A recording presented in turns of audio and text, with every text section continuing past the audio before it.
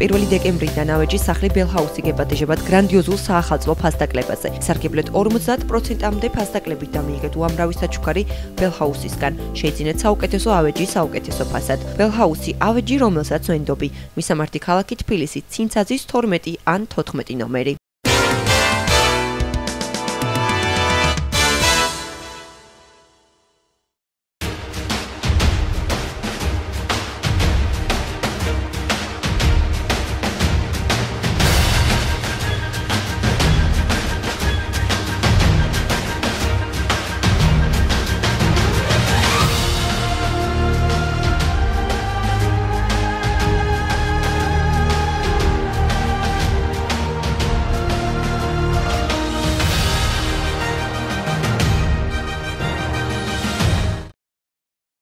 დღეს ქართული მართლმადიდებელი ეკლესია მოციქულთა სწორის ქართველთა განმანათლებლის წმინდა ქალწულის ნინოს ხსენების დღეს აღნიშნავს. წმინდა ნინოს ქართველთა განმანათლებლად და საქართველოს ციურ მფარველად მიიჩნევდნენ. ნინოების დღესასწაული მარნეულისა და ჰუჯაბის ეპარქიაში არსებულ ტაძრებში საზეიმო წირვალოცვით აღინიშნა. ბრევრი დღესასწაულს განსაკუთრებული ზეიმით საიმერლოს წმინდა ნინოს სახელობის ტაძარში შეხვდა. სადაც წირვალოცვა თამარ მეფის სახელობის ტაძრის წინამძღვარმა მამა დავითმა აღავლინა. ჩვენი ერისა, ჩვენი საქართველოს, ჩვენი სამშობლოს, ეს არის მართლა ზურგწინვალეს და უდიდებულესი შესასწაული, რადგანაც ეს არის ესენება იმ ადამიანები, იმ ადამიანისა, იმ პიროვნებისა, რომელმაც შეძლო იმხელა მადლი შემოეტანა ჩვენს ქვეყანაში, რომ ჩვენი ერი, ჩვენი სამშობლო მოქცეულიყო სარწმუნოებაზე და გამოვთარიღო ქრისტიანი ერი. მოგეხსენებათ პირველად საქართველოსი სარწმუნოება იკარება წმინდა დიდმა მოციქულ მადრიარქოს წოდებულმა მაგრამ ღვთის გაგებულება სხვა იყო რადგანაც მან იქადაგა და მოწმეები კი დარჩნენ საქართველოსი მაგრამ როგორც ეროვნული სარწმუნოება ესე არ გამختარა ქრისტიანობა პირიქით ძალიან დემას განიცდიდნენ არის ჯანთავ წევრის მიერ ნათქვამი ასეთი რამე ადერკი მეფემო რომ ვინც ქრისტიანები გახდნენ მაშინო და მოექცნენ სარწმუნო ადერკი მეფემო მივიდა და ყველა დაწვიტა ვინც სარწმუნოება აღიარა. და რას ესე იგი ძალიან ძიმე დევნას განიცდიდნენ. ამ საქართველოს ქრისტიანები და სწორედ მეორე საუკუნეში როდესაც პავის წარმართული სარწმუნოება საქართველოსში და გარკვეულწილად ზენიტშია კერპების თაყვანისცემა სადენისა და პარდოვაზისა და არმაზისა და ზენიტისა და კერპების თაყვანისცემა სწორედ ამ დროს შემოდის. ატარა გოგონა. მაგრამ სავსე მაგნიტ და ძალიან ის და ეს პატარა გოგონა ილოცებს და ჯერ ეს კერპები დაემხობია სინის გასამდებლებია, ხოლო შემდეგ მთელი ჩვენი ქართველიერი დაემხობა. წმინდა ნინოს სინაშე და მას შემდეგ წმინდა დიდი ჩვენი ღირსი მამა გიორგი თაცმინდელი ამბობს ესეც იყოს, როდესაც მას გამართებოდნენ ჩვენი ეკლესიის მოციქულებრივ წარსულზე მან ასეთი რამე თქვა ანტიოქიის პატრიარქის მიმართ ასეთი სიტყვით რომ უკეთ ჩვენო ოდესო ქრისტიანობა მიგვიღებიეს არა უარყოფიეს არასოდეს. ესე იგი წმინდა ნინოს შემდეგ მოგივიღოთ ქრისტიანობა მე არასოდეს არ უარყოფია ჩვენ. ოდესაც უამრავი საცდური შემოსულია ჩვენს გარშემო და ვეუბნებს ყველა მხრიდან მოროდი ეშმაკი იმისთვის რომ ჩვენი უბრალოდ ჩვენი სული სხვა რამისკენ გადაიტანოს და უფალი დამოკარგოს. ამიტომ თელეგული მიეწევოთ უფას ვიაროთ ტაძარში ვეუბნებთ უფას და მერტია ჩვენი და ფარველ მერტმა გაგლოცოთ გაგანოთ სამწუხარო დღეს ჩვენი ეპარქიის დოქტორ ვერ მოგზავნა იმიტომ არის უძულობებაში მამაგიობის არ არის სამწუხარო უძულობას ესე იგი ეს მიმანიშნებს რა იმას რომ ჩვენ ვერ გლოცულობთ სათანადოდ რომ ჩვენი წინამძღვრები იყვნენ ჯანმრთელნი და ღვთის მადლი და ღვთის სიტყვა გადმოუცენ ჩვენ და ამიტომ ვილოცოთ მადლსაც მე და მოეწევა უფალი და დაგლოცოს და გაუწოთ და გაგაცილდეს. მერტმა დაგლოცოთ, მერტმა დაგახარო, მერტმა მშვიდობა და სიკეთე მოგმარდო. ჩვენთანაც მე ნინოობა საქართველოსი ქრისტიანობის გამავრცელებლის წმინდა ნინოს სახელობის დღესასწაულია. ყოლა წმინდა ქალწულის მინიშნებით ქართველთა ერის ქრისტეს ნათლით განსანათლებლად ივერისაკენ მოციქულთა სწორი ქალწული ნინო გამოემართა. კაბადოკიიდან ქართველების გასაქრისტიანებლად ჩამოვიდა და თავისი საკუთარი თმებით შეკრა ვაზის ლერწმისაგან გაკეთებული ჯვარი. ამ დღის ისტორიასა და მნიშვნელობაზე ისაუბრა და დღევანდელი დღე მიულოცა ტაძრის წინამძღვარმა მამა გიორგი მსრულიად საქართველოს. მეთმა დაღლოცოთ დღეს უდიდეს დღეა საქართველოს და მართლმადიდებლურ სამყაროთვის. დღეს არის სცენება წმინდა ქართული განმანათლებელისა ნინოსი. მოიხსენებათ რომ საქართველო ოდიდანვე ციხდომილი ციხდომილი იყო ქვეყანა და ღვთისმშობელისა. შემდეგ მოხდა ისე რომ აი ეს ჩვენი ერი ისე უკრავ ციხთამარიცებლების და უჯულოების ასე თქვა ცოდვაში ჩავარდა. ოდესაც გაიგო ძმინანინო ქართველთა შესახებ, გაიგო რომ უფრის კვარტი საქართველოს იმყოფებოდა ებედრებოდა დედა ღვთისმშობელს უფას რომ ბედნიერი ყოფილიყო იმით რომ მოხდრილიყო საქართველოსში და საქართველოს რომელიც მიმრუვებული იყო უფლის მიმართ მოიქცია უფლის წინაშე. და მოხდა ისე რომ დედა ღვთისმშობელი გამოეცხადა წმინდანინას და მას ანოგეშევდა და უთხრა რომ ის უნდა წასულიყო საქართველოსში და ერი მისი რომელიც იმურებულიყო უფლისაგან უნდა მოქცეულიყო. და იმის და დასამტკიცებლად რომ ეს სიზმარი არ იყო რაღაც ჩვენება არამედ რეალური ჭეშმარიტება ღვთისმშობელმა მას დიდი სასწაული გამოუვლინა მისა დიდი მას ჯვარი ვაზისა.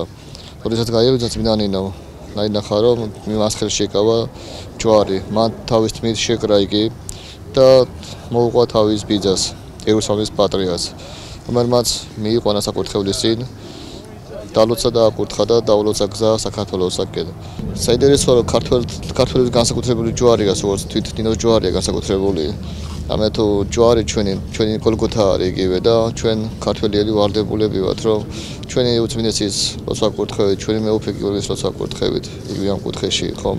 ჩვენი ჯვარი ჩვენი გოლგოთის გზაზე ღირსეულად მივიდანოთ მეთმა დალოცოს ეს კუთხე მეთმა დალოცოთ თქვენ და მთლიან საქართველოს დღეს არის წმინდა ნინოს ხსენების დღე. ყველა მართლმადიდებელს ულოცავ ნინოობას მისი მადლი ფარავდეს სრულიად საქართველოს დღეს ნინოობა არის ტაძარში ტარდება მწირვა თელ საქართველოს ჩვენ ერთ სულოცავ წმინდა ნინოს დღესასწაულს გვფარავდეს იმისი მადლი და ძალა თელ საქართველოს უსურვებ გაერთიანებას და ჯანმრთელობას და კარგად თელ ჩვენს ერს წმინდა ნინოს ხსენების დღეს ქართული მართლმადიდებელი ეკლესია წელიწადში ორჯერ აღნიშნავს. 1 ივნის წმინდა ნინოს საქართველოსში შემოსვლას, ხოლო 27 იანვარს მისი გარდაცვალების დღეს.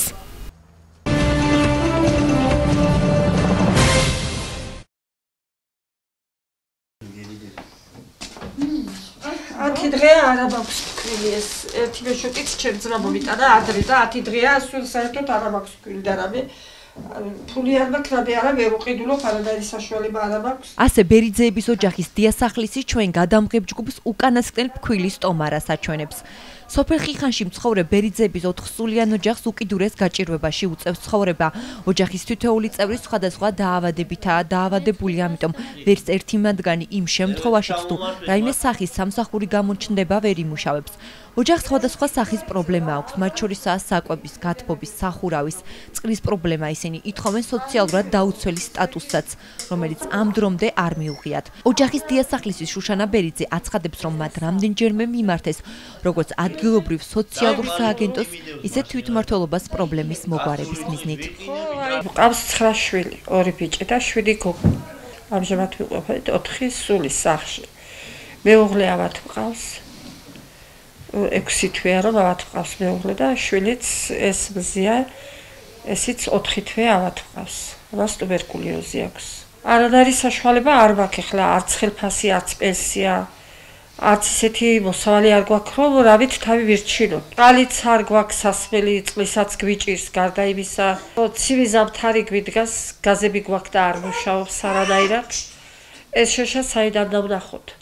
ესე იგი არა აგვისტოში დაგენიშნება, არა როცა აგვისტოში რომ შევტანე ეს განაცხადი 11000 მქონდა ქულა. მე ახლა რომ შევიტანე 17000-იო. საიდან რა ვაკავ 17000-ის გულების რომ მე სოციალური არ მეკუთვნის ხელფას, მე არ ვღებულობ პენსიას, მე არ ვღებულობ. ამგეობაში კი ვიყავ.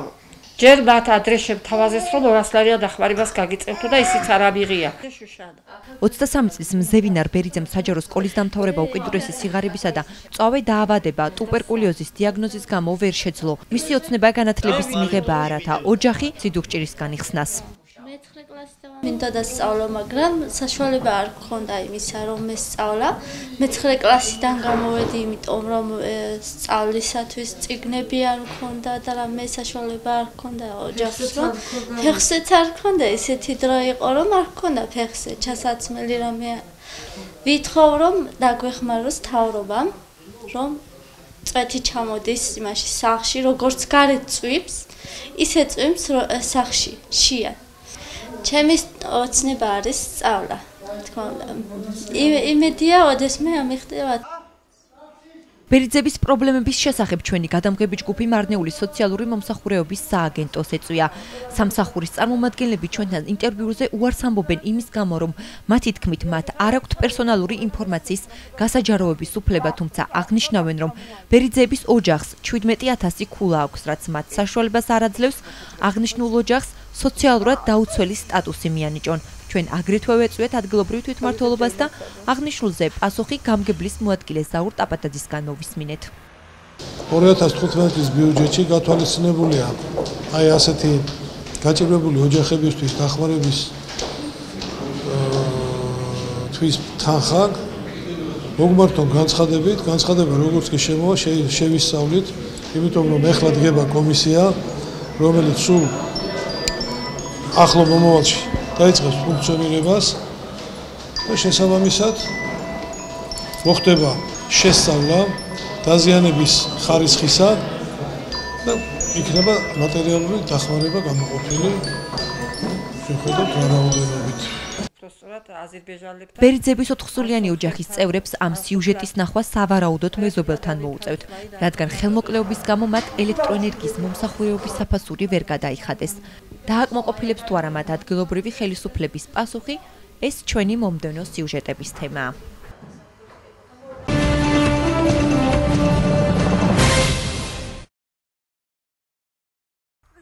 სოფელ წერეთლის მოსახლეობამ უკვე გაიგო მთავრობის ეკონომიკური გუნდის ახალი ინიციატივის შესახებ, რომლის მიხედვითაც იმ შემთხვევაში თუ კი სასოფლო სამეურნეო მიწის ნაკვეთს ვერან არ დაამუშავებენ, ფერმერებს სანქციები დაეკისრებათ. გასათვალისწინებელია ისიც, რომ გლეხები მიწების დამუშავებას მთელი რიგი პრობლემების გამო ვერ ახერხებენ. თემასთან დაკავშირებით ჩვენ თავად ფერმერების აზრი მოვისმინეთ. ისინი სიახლეს მიესალმებიან, თუმცა აღნიშნავენ, რომ მიწის დამუშავების დროს შექმნილი პრობლემები თავად სახელმწიფომ უნდა აღმოფხრას. მიზან შეწონილად მიმაჩნია მე რომ ხაუზვიდეს იმას ვინც ვინც არ დაამუშავებს ადგილებს. სტორი ეგ, მაგრამ არის ისეთი ადგილები, რომელიც ადგილები გაყოფილია. სადაც წყლის უკმარისობა არის. გასუტე შეგვიჩერეს წყალი იმ დროს რომ მეორეც უნდა მოგვეწარ ადგილებ. რომ მოგვეწარ ადგილებ. არ მოგვაწყვეს წყალი ამის გულს მოსავალი ვერ მივიღეთ. წყლის პრობლემა არის წერეთელში ყოველ წელიწადს. კი, ვამუშავებ მე ყველაფერი იონჯა მეთესია სიმიდი ჩემი ყველაფერი. მაგრამ ბევრი ადამიანები არის ახლა ვერ წევენ და მიტოვებულები აქვს ადგილები. უწყლის გულისთვის. დადიან წყალი და ვერ მოყავს. ეს გასაწმენდი არხები. სახელმწიფოს მადლობელი ვართ ბიზნესზე ჩვენ რო გვეხმარება ეს ორი წელიწადია გვიხნავს მიწას. გვიხნავს მაგრამ თავის დროზე ახლა მიღებული უნდა ქონდეს ვაუჩერები. ეხლა თუ მიწ არ დამუშავდა ჩვენ მოსავალს ვერ მივიღეთ. ხალხი ეროდება მაგ იმას რა ქვია იმას დახმარების იმ ზაუჩერს. თუ შეიძლება და მოგვაწოდებს დროზე კარგი იქნება. უნდა გაუძვირდეს რატო არ ამუშავებენ? სხვებს სხვებს მიცონ მაშინ და სხვები და ამუშავებენ. ხალხს ნაგვეთები არ აკეთებ, უმუშევრები არიან და კონდეს ნაგვეთები ამუშავებენ ისინი. და ძალიან კარგი და სწორია, უნდა გაუძვირდეს იმათ გადასახადი. მე 5 გექტარი მაგ და ვამუშავებ, ვამუშავებ კი არა, მეორე მოსავალთ მაგეთებ კიდე რომ ხორბალს რო ვიღებ, მე სიმიც წესამ და ვინ გააჩერებს? მიწას მე არ ვაჩერე, აგრონომი ვარ, მე 20 წელიწადი აგრონომად ვიმუშავე თავარ აგრონომად, მე მიწას გავაჩერე. სახელმწიფო გვეხმარება, ჩვენ გვაძლევს ვაუჩერს, ყვა 2 წელიწადია მე ვღებულე ვაუჩერ დახვნისას, წამლები მოგწეს. წელს ახლა დაგვიანებული არც ვაუჩერი მაქვს, არც მე ახლა მაგ ნაკვეთში ვამხნავ, კარგი ამიდებია, მაგრამ რა თქმა უნდა, ხნავ ჩემ ფულს ვიხდი ბანკიდან დავიღეს ხესყი და ჩემ ფულს ვიხდი და ვახნევიებ ტრაქტორს და თუ მოგწევენ მომუჩევრეთ და თუ გვაძლევენ მოგწვენ თავის დროზე. სოფლის მეურნეობის სამინისტროს ვებგვერდზე გავრცელებული ინფორმაციის მიხედვით თავრობა მიწის დამუშავების წახალისების ახალ მოდელზე მუშაობს. შესაბამისად, ახალი რეგულაციები საიტზე გავრცელებული ინფორმაციით მცირემიწიან ფერმერებსა და გლეხებს არ შეეხებათ. საუბარია კერძო საკუთრებაში არსებული ათეულობით ჰექტრისა და მასივების მფლობელ კერძო პირებსა და კომპანიებზე. საიტზე არსებული ინფორმაციის მიხედვით, ახალი მოდელის დახვეწაზე მუშაობა კვლავ მიმდინარეობს.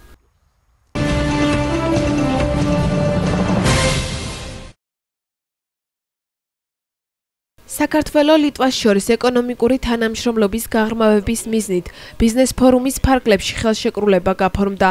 დოკუმენტს საქართველოს მხრიდან ხელი ირაკლი ღარიბაშვილმა, ხოლო ლიტვის მხრიდან ალგირდას ბუტკევიჩიუსმა მოაწერეს. ბიზნეს ფორუმზე ირაკლი ღარიბაშვილმა ქვეყნის ეკონომიკის განვითარების ძირითად მიმართულებებზე ისაუბრა. მისი თქმით, ევროკავშირთან ასოცირების ხელშეკრულება ხელს ქვეყნის ეკონომიკურ ზრდას, ასევე მსოფლიო ბაზრებსა და გლობალური მიწოდების ქსელებში ინტეგრაციას შეუწყობს. ფლობს, ხოლო ღრმა და ყოვლისმომცველი თავისუფალი ვაჭრობის ხელშეკრულება საქართველოს განვითარების თავარი სამოქმედო გეგმა. პრემიერმა უშუალოდ საქართველოსა და ლიტვას შორის არსებულ სავაჭრო და ეკონომიკურ ურთიერთობებზეც ისაუბრა და აღნიშნა, რომ ქვეყნის სავაჭრო ბრუნვა 30%-ით, ექსპორტი 46%-ით, იმპორტი კი 21%-ით არის გაზრდილი. საქართველოს ლიტვის ფორუმი ორდღიანია და 28 იანვარს დაიხურება.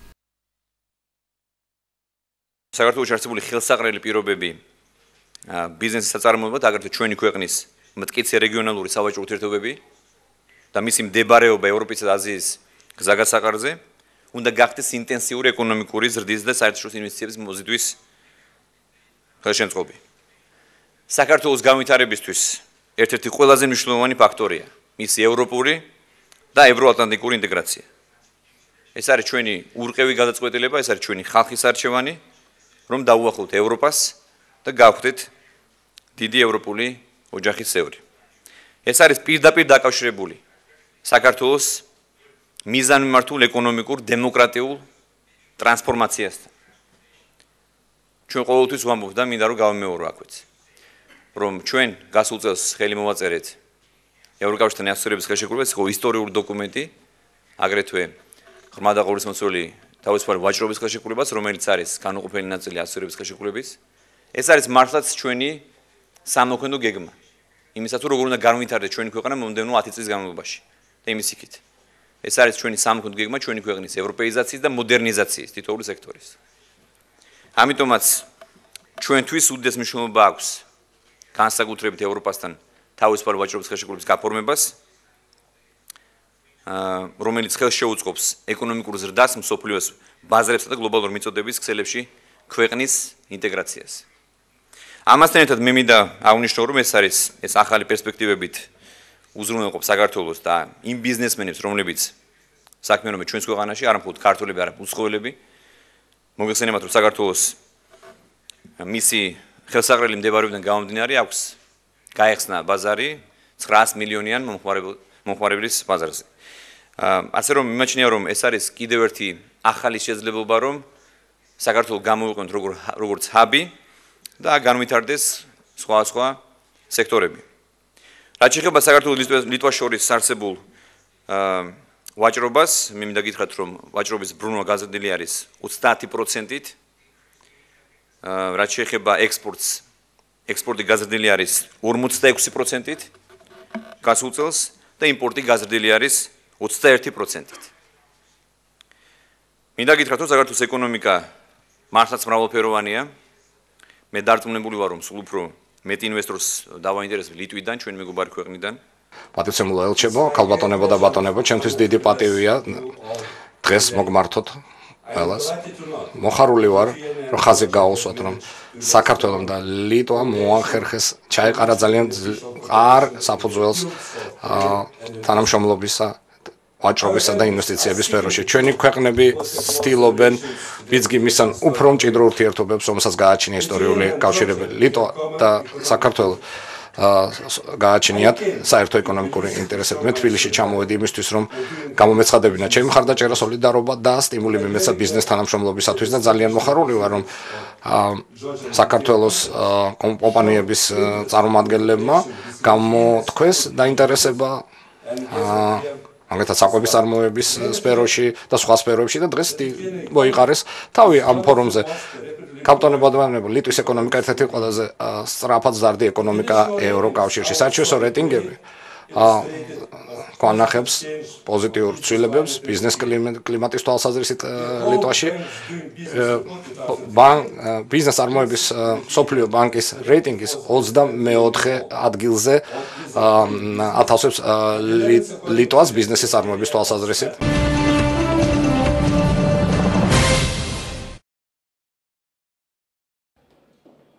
შინაგან საქმეთა მინისტრმა ვახტანგ გომელაურმა საავადმყოფოში მოინახულა 23 იანვარს ლიკანში მომხდარი ინციდენტის დროს დაჭრილი პოლიციელები.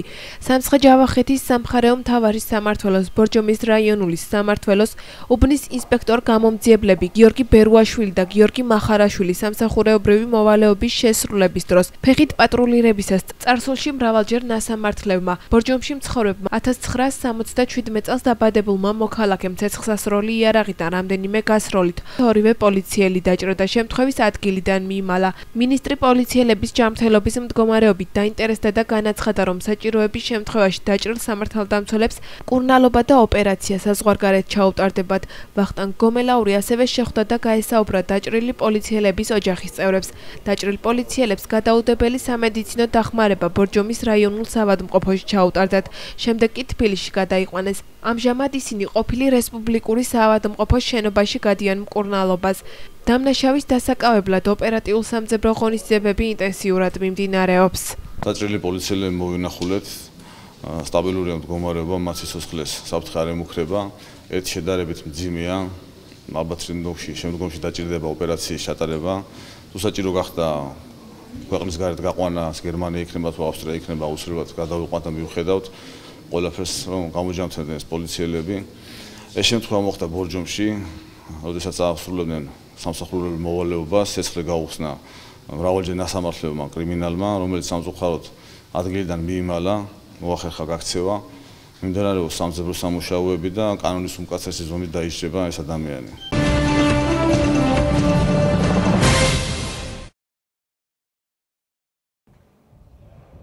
შინაგან საქმეთა სამინისტროს საპატრულო პოლიციის დეპარტამენტის სამცხე-ჯავახეთის მთავარის სამმართველოს თანამშრომლებმა ნინოწმინდის სასაზღვრო გამშვებ პუნქტში ბულგარეთის სამი მოქალაქე 1995 წელს, 1996 წელს და 1991 წელს დაბადებული პირები განსაკუთრებით დიდი ოდენობით ნარკოტიკული საშუალებების საქართველოსში უკანონოდ შემოტანის ფაქტზე დააკავეს. სასაზღვრო კონტროლის გავლიცას დაკავებულებს სხეულზე წებოვანი ლენტით მიმაგრებული 10 შეკვრა და დაფასოებული.